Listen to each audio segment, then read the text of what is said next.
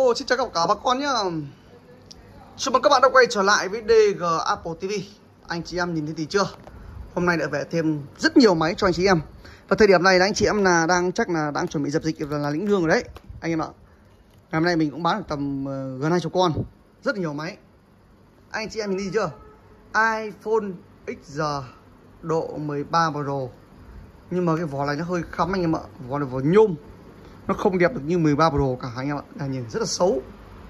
Màn nó hơi già một tí anh em ạ. Màn nó là màn zin. Nhưng mà nó hơi già một tí.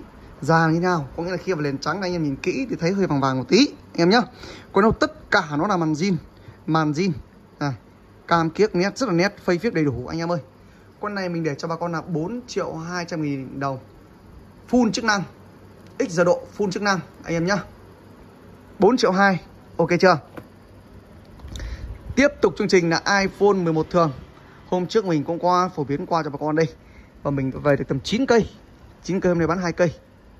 2 3 4 Màu tím, màu đen Và màu trắng.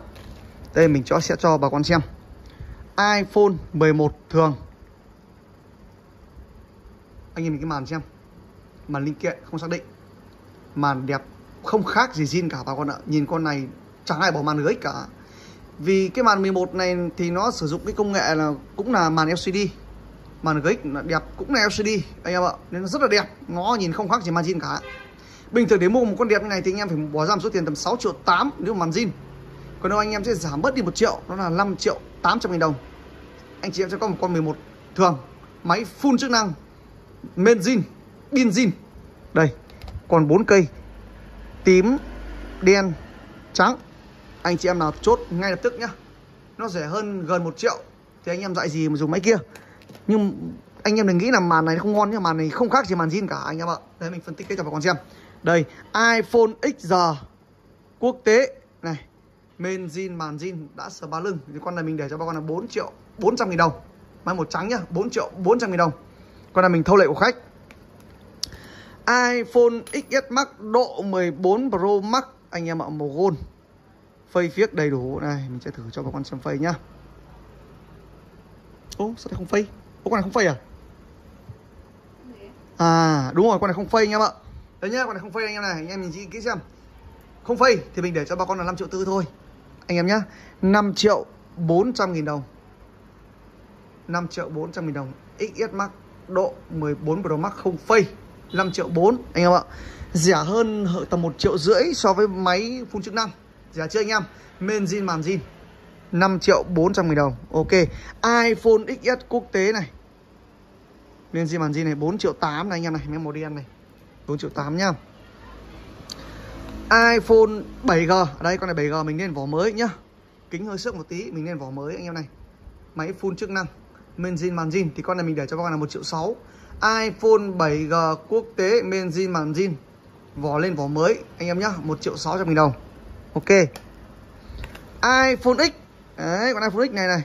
Mà quốc tế này, hiện tại cảm ứng đang chập chờn này, mai mình sẽ làm cảm ứng full chức năng. Con này lên, bình thường mình sẽ để cho bà con con này giá là 3 triệu 9 nhá. Làm cảm ứng men zin, màn zin, thay cảm ứng anh em nhá, bảo hành cho bà con thoải mái, tuyệt đối luôn 3 triệu 900 nghìn đồng máy full chức năng. iPhone SE 2020 mình lại phải thêm 5 cây nữa, anh em nhá. Một này. 2 này. À bốn năm này. Hôm trước về 6 cây thì mình bán hết rồi. Thì hôm nay mình về lại thêm 5 cây nữa, anh em nhá.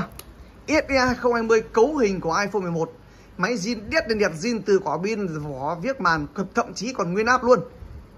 Máy này lắp được hai sim nữa. Thì anh em dạy gì mà dùng iPhone 8G đúng không?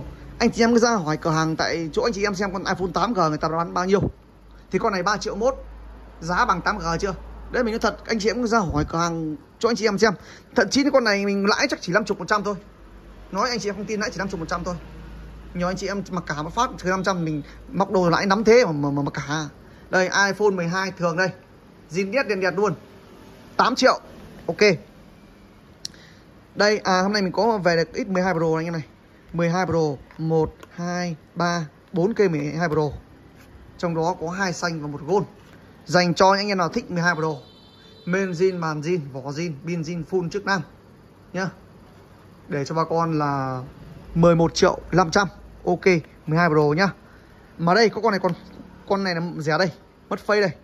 Gì điết Thật sự là anh em ạ, Tháo con này ra nhá. Anh em thấy sửa chỗ nào nhá. Cho phép đập máy hoàn tiền 100% men zin điết màn zin điết mỗi cái Face ID không sửa được thôi. Đấy, Thì con này mình để cho con là 9 triệu rưỡi. Rẻ hơn 2 triệu so một máy bình thường. Dành cho anh em nào tiền ít đòi hít Đồ thơm, thích viền vuông lại ba mắt. Ok 9 triệu 500 nghìn đồng. À đây iPhone X Max đây? Trắng này Trắng này, Trắng và gold, Trắng, gold gold, trắng gold, trắng trắng, gold. Úi dồi ôi sao còn nhiều thế này. 4 triệu 9 anh em ơi, Còn 2 4 6 8 9 cây. 4 triệu 900 nghìn đồng iPhone X Max full chức năng bên zin màn linh kiện, loại siêu đẹp luôn. Nó thật sự anh em ạ, Màn này nó không khác gì màn zin không khác gì màn zin cả, anh em ạ. Đây. 4 triệu 900 nghìn đồng.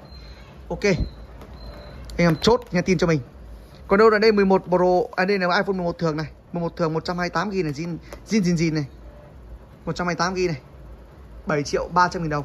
128GB bà con nhá. XS Vào đây. 7 Plus.